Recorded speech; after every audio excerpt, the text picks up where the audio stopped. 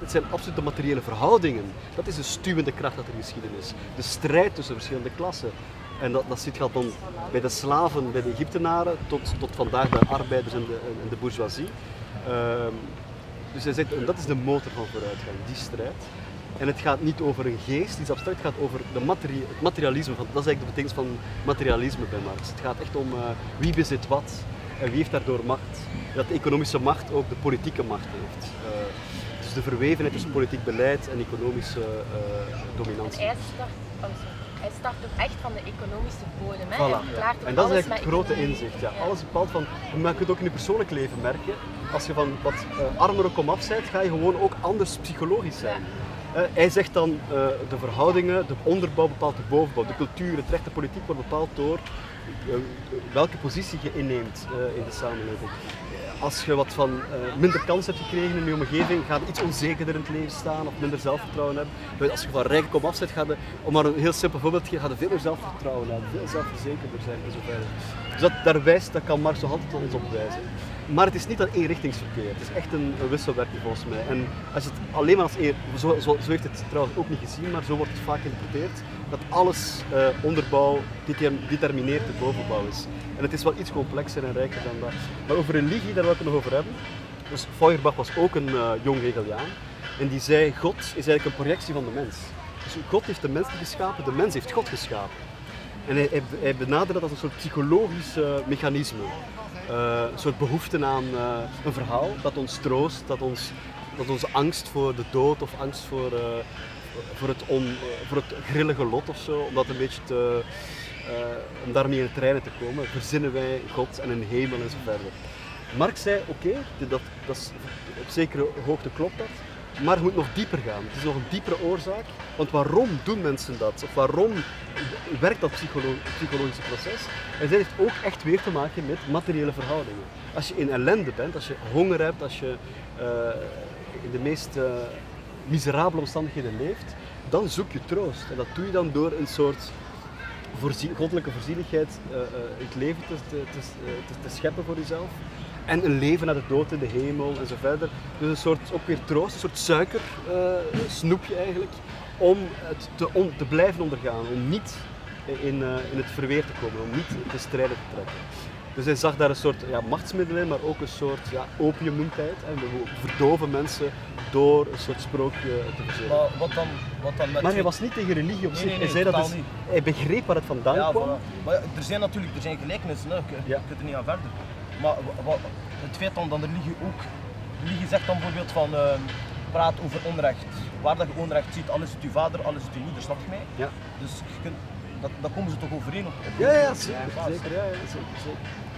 Zeker ja. Maar ik, ik begrijp perfect wat het, wat het zegt van als je een slechte periode hebt, hè, als je Ja. honger hebt, dat je dan Ja. constant naar die, Ja. hè, naar dan misschien dat belk dat hij heen noemt van eh, God of maakt niet uit eh, Ja, ja. Hoe, hoe dat het noemt, snap je? Dus Ja. dat begrijp ik wel. Het is de zucht van het verdrukte wezen, zegt hij. We vinden een hemel uit omdat de aarde een hel is. Oké, Dat is ja, voilà, waar. perfect. Mag ik daar iets over zeggen? Als je dan aan vandaag vertelt, ik ben in veel landen geweest waar er grote armoede is. En wat je vaak altijd terugziet, is dat de regimes gaan sterke bondgenootschappen aan met religie. Waarom? Mensen worden eigenlijk geconditioneerd om het lot die ze hebben, armoede, hoge armoede, te aanvaarden. Ja, Eh, dat is het. Ja, ja. Jij bent naar Polen geweest, wie is er naar Polen geweest? Ik was in Polen eind april en Radio Maria is daar eh, heel populair. En religie eh, staat nou in verband met het regime van Kaczynski, anti-abortus. En wat dan mij, mijn kritiek op religie een stukje, Bilal, is dat de drie monotheïstisch eh, godsdiensten patriarchaal zijn. Het gaat altijd over mannen. En als je kijkt naar de structuur van het kapitalisme, dan is dat bijna dezelfde structuur. Mannelijk, eh, vrouwenvriendelijk. In onze economische wereld eh, er is veel genderongelijkheid. Vrouwen worden nog altijd meer uitgebuit dan mannen. En die twee gaan vaak samen. En dan heb je in Latijns-Amerika de bevrijdingstheologie gehad. En dat is een interessante beweging. Dat is eigenlijk priesters, arbeiders, vaak uit Vlaanderen ook, die naar Latijns-Amerika gingen. Je had een soort mix tussen mensen die socialistisch, marxistisch geïnspireerd waren, maar ook religieus gelovig waren. En die twee gingen samen. Maar een doel was bevrijd worden. Het juk van de uitbuiters weg en bevrijd worden. Dus Ik denk dat Marx nu, mocht, mocht hij nu leven, religie zo zou opvatten. Dat het een betekenisgevend systeem is van mensen, maar als het onderdrukkend werkt, dat mensen bevrijd moeten worden en dus als jij refereert naar er zijn bronnen en religie die ook bevrijdend werken, dan gaan die twee samen. Ja, ja, ja, Dus ik als marxist kan als, met jou als gelovige samen op de barricade staan. Ja, wat zeggen- ik, gewoon Chris, wat jij nu zegt is nu hetgene dat bijvoorbeeld wij verwijten aan de Arabische leiders. Dat ze bijvoorbeeld hè, dat ze het geloof gekaapt hebben. Ja. Hè, want nu, een een simpel voorbeeld, de koning van Marokko noemt zijn eigen de leider der gelovigen, snap je mij? En hij laat mensen voor zich bukken, knielen. Er is ook een speciaal gebed voor hem. Dus ik begreep, ik begreep perfect dat plaatje. En dan heb je dan de verzetstrijder, heel kort, Nasser Souzeffi, die opgestaan is. En die dat ook zegt van de koning van, je hebt het geloof gekaapt. Jij laat de mensen letterlijk als slaven, snap je? Dus ik begrijp, begrijp dat goed. Maar het is nog altijd de mens zelf. Het is die vrije geest, kun je jezelf zo vrij noemen. Maar als je die, als je ik, voor mij, als je die onderscheid niet kan maken tussen eh, lichaam, eh, ziel en ik niet, geest of zo, bij mij zijn, dat echt drie aparte dingen. En ik kan die, ik kan die alle drie eh, perfect, ik kan praten als, als, als, als mens van verstand, en dat geef ik echt Marx. En hier in deze wereld moest die mens nog leven. Ik zal waarschijnlijk de grote aanhanger zijn of zijn rechterhand wil zijn of ik weet niet wat. Maar dan is er nog iets echt heel, eh, de ziel in mij, en dat is niet iets dat ik uitvind, want ik ben er heel bewust in. Dat toch praat, dat Marx gelijk geeft en al, alle goed in hem ziet, maar dat toch dat bewustzijn van de religie, en dat is iets dat je natuurlijk ik weet niet. Ja, ja. Maar ik denk dat, zoals Dominique net zei, dat, dat ze elkaar kunnen vinden als het gaat over emanciperen inderdaad. Onderdrukking, uitbuiting tegengaan. En dat die ook bij, zelfs bij het christendom het gestoken. We hebben Daans gehad en zo verder. Dus, we hebben, dus dat die sociale strijd kan samengaan. Dus het een hoeft het ander niet uit te sluiten. Maar vaak is dat eh, geloof wordt vaak gebruikt als middel om, eh, ja, ter onderdrukking. En, en om de machtshebber, eh, om, om eigenlijk eh, samen te werken. Ik heb een vraagje, als het mag, over het maakproces. Maar ik wil dat reserveren tot op het einde hoor. Maar als die jonge mensen binnen tien jaar over een historische figuur, waarom niet de verzetstrijder uit Marokko, een Ja, ja. stuk zou willen maken en jullie willen auteur worden, hoe doe je dat van stap 1 tot gisterna? Ik heb een, vra- ik heb een vraag, misschien kun je daarmee eh, mengen ook. Ik vraag mij af, eh, want ik heb Socrates ook gezien, wat dat maakt dat je ehm, hebt gekozen om, om filosofische figuren op, op theater te zetten. Is er een kracht van theater voor u die voor u spreekt? En is het een eye-opener? Misschien is het ook om de mensen erachter te zien. Je hebt al een paar dingen gezegd hoor, maar ik vraag me dat af hoe van waar die keuze, want je kunt even goed kiezen om een, om een boek te schrijven neem ik aan. Of... denkers die buitenstaanders zijn, of, of waar ik mij mee verwant voel, of die mij geïnspireerd of, of verrijkt hebben. Eh, maar ik, ik, mijn achtergrond is, ik heb eerst studie Herman Tijden gedaan, ik heb kleinkunst, eh, theater en muziekopleiding gehad. Heb ik tien jaar bij Compagnie de Koe gespeeld, met Peter van der Nede. Eh, en dan heb ik eh, wat dingen voor televisie gedaan en heb ik ook filosof, ben ik filosofie gaan studeren. Toen ik daarmee klaar was, heb ik een programma voor Canvas gemaakt, Het Voordeel van de Twijfel heet dat. En heb ik ook een boek geschreven dat ook Het Voordeel van de Twijfel heet, Hoe filosofie je leven kan veranderen is de ondertitel. Eh, en daar gaat het over levensvragen en zinvragen, eh, maar ook over maatschappelijke, sociale eh, thema's. En waar ik dan ja, de verschillende filosofen een licht over laat schijnen, op laat schijnen. Ehm, en toen dacht ik, ik ga mijn oude liefde theater combineren met mijn liefde voor filosofie en literatuur. En ik ga een filosofenreeks maken. En mijn idee was om, omdat ik denk dat die nog altijd iets te zeggen hebben nu, en ik kies er wel de buitens, de, de, de figuren uit die theatraal interessant zijn. Alleen vaak uit ook- het westen? en nee, de bedoeling is ook om, maar ik, ik, het is wel om de zoveel jaar dat ik een vervolg altijd eraan maak. En dat wil ik eventueel ook eh, uitbreiden. Maar het zijn er nu al nog zoveel die interessant zijn die ik nog wil eh, behandelen. Ehm, de komende eh, Schopenhauer komt nog, Nietzsche, Sartre de Beauvoir, die staan allemaal op het lijstje. Maar allemaal om de twee, drie jaar zo. Maar, ehm, en, maar het moeten ook mensen zijn, dus het moet, beantwoorden aan verschillende criteria. Ze moeten een, een, een, eh, tragisch leven, een komisch leven, of een tragicomisch leven hebben gehad. Eh, ze moeten nog relevant zijn vandaag de dag. En, en ik moet er ook iets, moet er iets mee hebben. Ik moet er iets van kunnen. eh, ik, moet ik, moet er, ik moet daar een, mededeling in terugvinden die vandaag de dag nog moet gedaan worden. En bij Socrates was dat voor mij duidelijk. Een soort het vrije denken of het, zelfs, het kritisch zelfstandige denken waar hij voor staat. Eh, en bij Marx is het volgens mij ook vrij duidelijk dat iets over deze tijd eh, nog altijd te zeggen. Eh, en ook de andere filosofen aan bod komen. Dus dat is het idee. En hoe werk ik? Dat is eerst maanden. Ik heb wel filosofie gedaan, maar van Marx wist ik alleen maar de krachtlijnen. Maar ik heb dan eh, maanden mee ingelezen en dat heeft, dat heb heel veel geleerd over hem, heel veel dingen die ik gewoon totaal niet wist. Dus het is voor mij ook altijd, het heeft dus ook een excuus voor mij om mij te verdiepen in sommige figuren. Want je weet wel dingen die ik dan gestudeerd heb, maar het is toch wel fantastisch ehm, om heel dat leven eens eh, onder de loep te nemen. Maar welke schrijver eigenlijk? Veel biografie, dus veel over hem, veel gesprekken met, met, met kenners over hem en dan ook veel eh, primaire teksten, zijn eigen Ja. teksten. En dan is het, is het de opdracht, en dat, wordt, dat is wel echt een moeilijke klus geweest, eh, dat is zoveel, dat leven is de ene ellende, dat is, dat is constante herhaling van ellende. En dat zou gewoon heel saai worden, dus ik heb echt de highlights eruit gepakt en ik heb echt gesprongen in de tijd, hè, vaak. Maar het, het, het is wel consistent en het klopt er allemaal.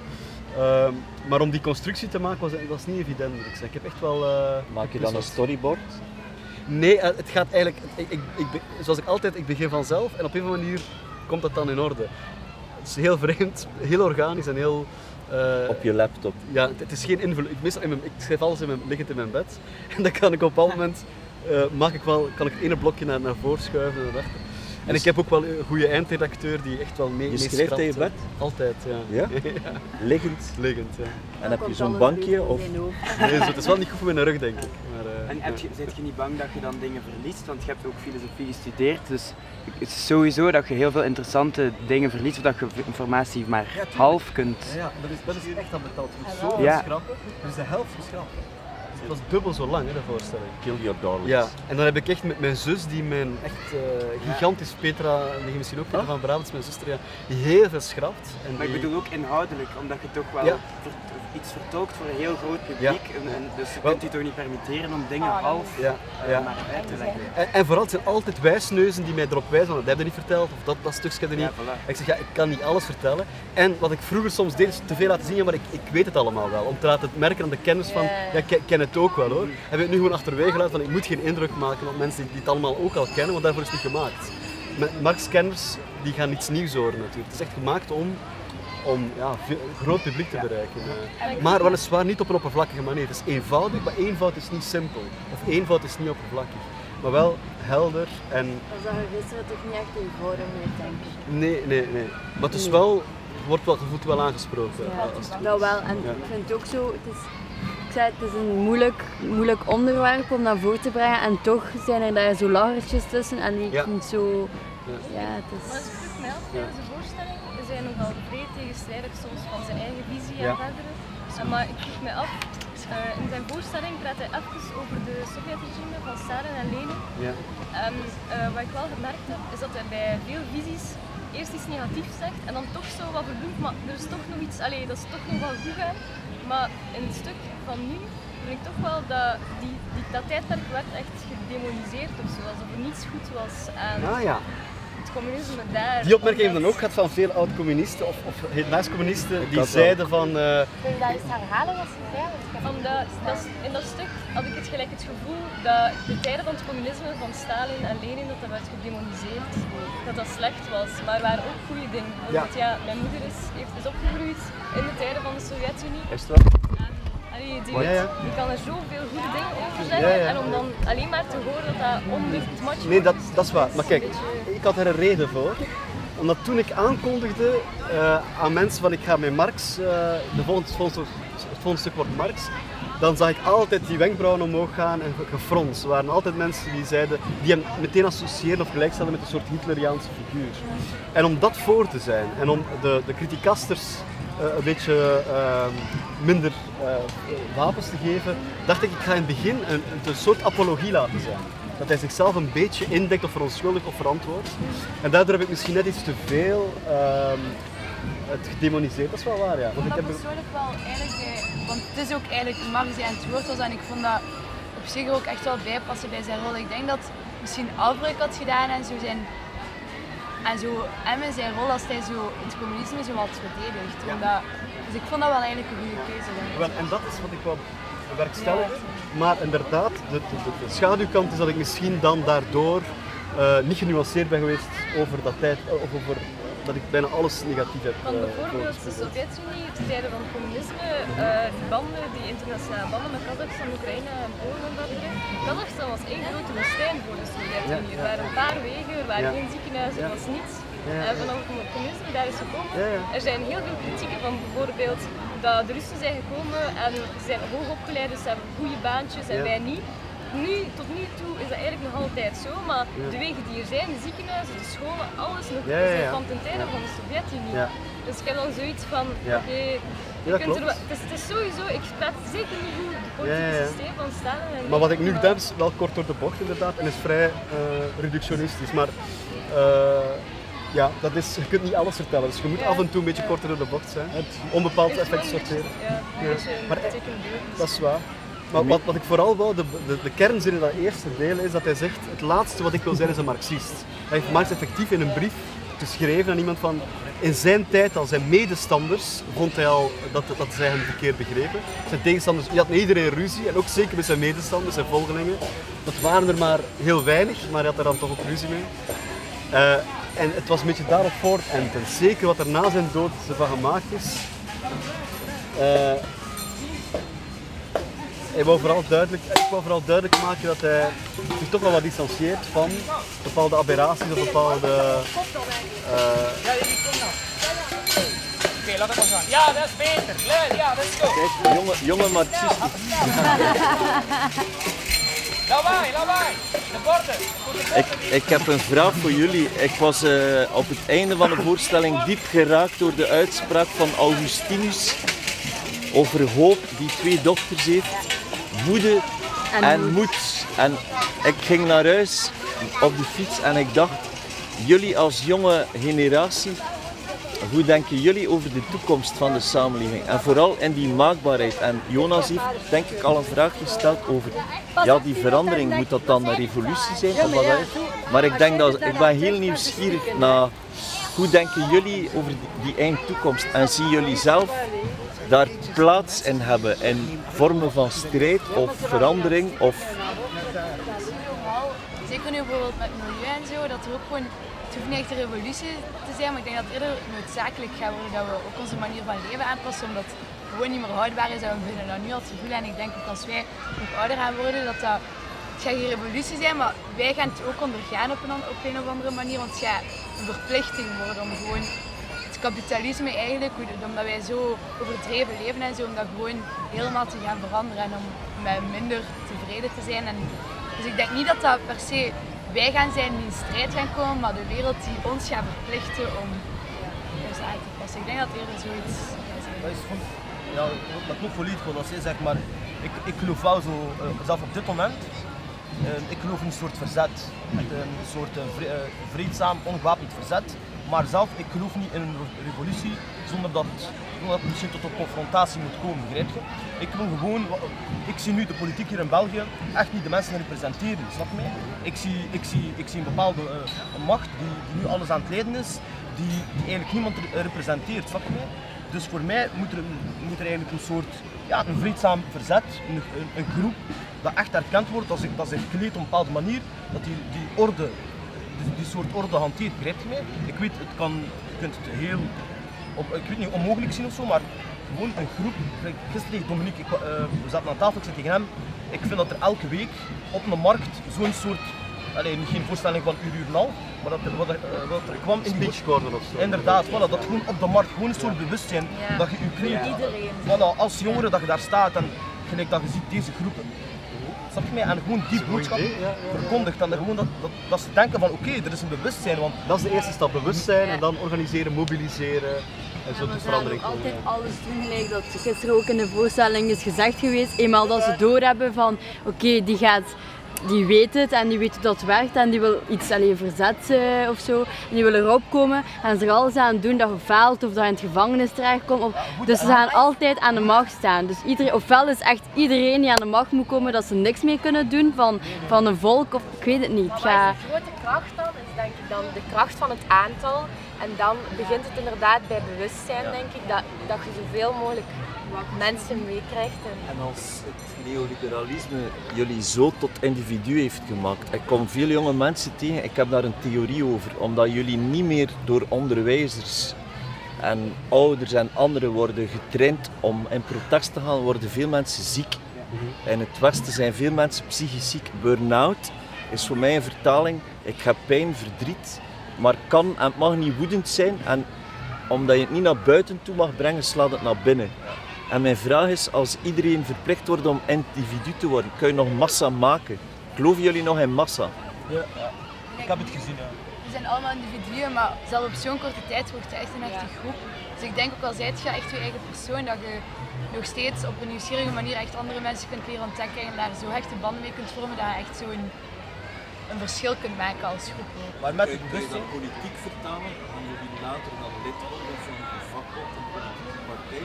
Of gaan jullie zelf nieuwe instellingen maken? Dat zou er wet zijn. Een eigen vakbond, ja?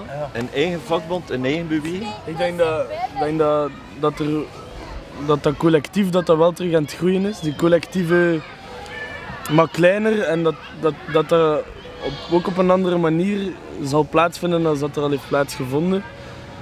Als eerder een soort van klein beetje zand dat er zo continu tussen raakt in die machine. En hoe meer zand, hoe, hoe stugger en hoe meer dat er herdacht moet worden om dat terug te laten werken. Ik denk dat, maar ik denk dat, dat, denk dat, dat niet zo...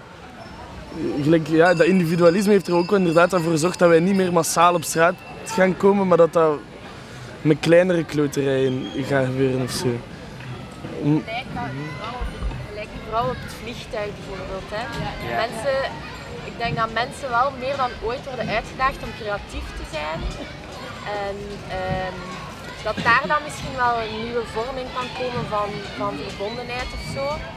Maar dat, dat misschien, ik weet het niet, de tijd van iedereen blind. ehm, want heel veel mensen hebben ook in grote groepen, zonder veel echt te weten wat dat die ideologie inhield, denk ik, meegestreden voor een bepaald doel.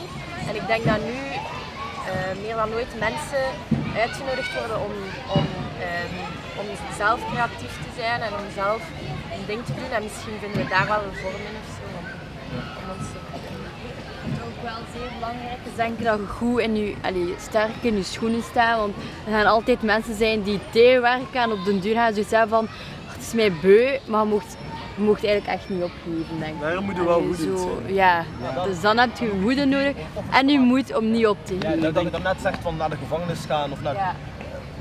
Het is hier dat je ziet als je naar de gevangenis gaat voor, voor een crimineel feit. Het is anders dan je naar de gevangenis moet gaan voor mensenrechten of ik weet- ik niet wat. Snap je? Dus je gaat offers moeten maken, je gaat dingen moeten opgeven, heel veel luxe moeten opgeven. Ik heb zeven mensen, 300.000 mensen op een plein eh, zien laten samenkomen. In, in de grootste plaats van donkerte, snap je mij? Waar geen hoop is, waar mensen echt een mens aanbidden en zijn. Eh, dat heeft mij hoop gegeven, snap je mij? Dus die strijd heeft mij getoond dat kan. Ik herinner mij gisteren, eh, dus één persoon die buiten komt en de mensen wakker maakt, echt de manier dat uw voorstelling gepresenteerd is geweest. Snap je mij? En dat is.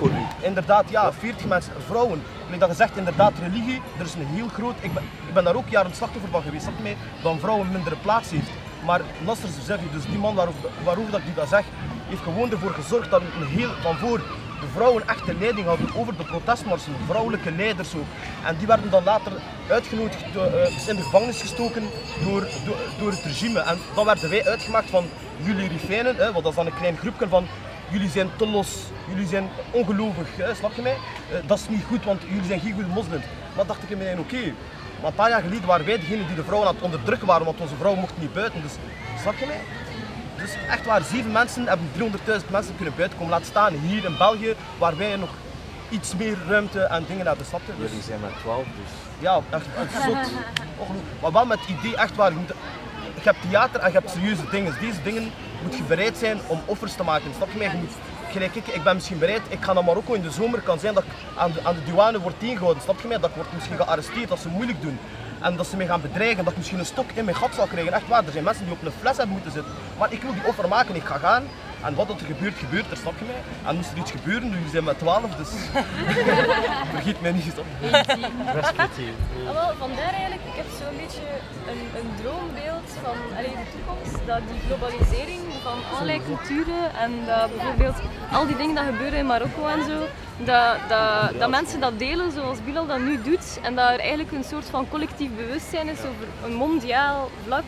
En echt, mijn, mijn echte droom, droom zou zijn dat de democratie die zogezegd nu in de historiek nu wordt doorgevoerd, dat die zou worden doorgevoerd op een micro, meso, macro vlak. Dat het niet zo is van er is een politieke partij en je, hangt eraan of je hangt er niet aan. gewoon op, op microvlak dat er beslissingen worden genomen op vlak van bijvoorbeeld referenda of zo. Dat mensen genoeg geïnformeerd worden over een andere cultuur, over welke visies er zijn, over welke manier van economisch leven er zijn. Want moest dat er zijn, zouden mensen gewoon kunnen kiezen van deze stad is zo gezegd dan onder de nieuwe noemer socialistisch, deze stad is kapitalistisch, dan kunnen die mensen gewoon weg verhuizen naar bepaalde regels, bepaalde voorwaarden die die stad heeft gemaakt. Dus, dus ik, ik zie toekomst in die globalisering van dat we steeds meer gaan uitwisselen. Maar natuurlijk, de grootste schrik dat ik bijvoorbeeld daarbij heb, is de angst. De angst die we nu overal zien met Trump die opkomt. De angst die dat we met NVA nu meemaken van ah nee, het vreemde is erg, dus we gaan het wegstoppen, we gaan ze niet helpen. We gaan ons niet opofferen om 10% minder luxeachtig te leven. Het is zo, ja, ik weet niet. Ik, ik, ik geloof en hoop een beetje op globalisering dat dat goed allee, doorkomt. Dat er gewoon geen angst is. Dat is denk ik het grootste obstakel. Moet en goed of niet? Hoe denkt Ja, Heb jij daar een visie op? Filosoof geeft geen antwoorden, maar elk antwoord wordt geproblematiseerd. Ja. Dat is taak, dus we gaan, dat is een heel lastige, ja, dat kan dat ook verlammend werken. Maar ik ben wel van de, ik ben een twijfelaar die ook wel graag af en toe een keer tot actie komt. Dus, Ja, eh, dat, dat merkt ook in die tekst. ja, ja, ja. Maar dus ik vind het zeer moeilijk. Eh, maar ik, ik, ik ben wel ontroerd wat jullie allemaal zeggen en, en ik vind het allemaal heel hoopvol.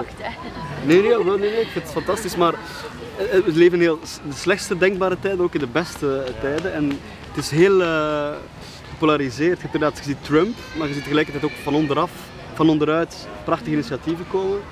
Eh, het gaat altijd om een strijd om, om discours. Hè. De, wie, wie, eh, wie, wie is het domi- welke eh, ideeën zijn dominant of vinden het meest ingang bij, bij mensen. Dus retoriek is ook belangrijk, denk ik. Dat je mensen eh, kunt besmetten met ideeën. Ehm, maar ik vind het ook goed wat, ik weet wie het zei, van eh, de, de wereld zal ons wel verplichten. Jij zei dat, hè? Dus ik denk dat, dat, dat we daar ook wel misschien op gaan afstevenen. En op antwoord Dominique, zo zien jullie zelf op politiek vlak.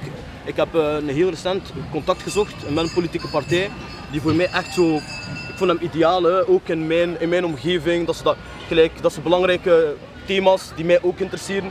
Maar ik ben, ik ben er wel zo dieper in gegaan, ik heb gesprekken met hen gehad. En ik ben er weer zo'n beetje teleurgesteld uitgekomen. Snap je? Waar dat je ziet dat, ja, dat ik heb daar een opmerking gegeven op Facebook van al die politiekers die nu, die nu eh, campagne gaan voeren in plaats van een foto van jezelf uit te zetten.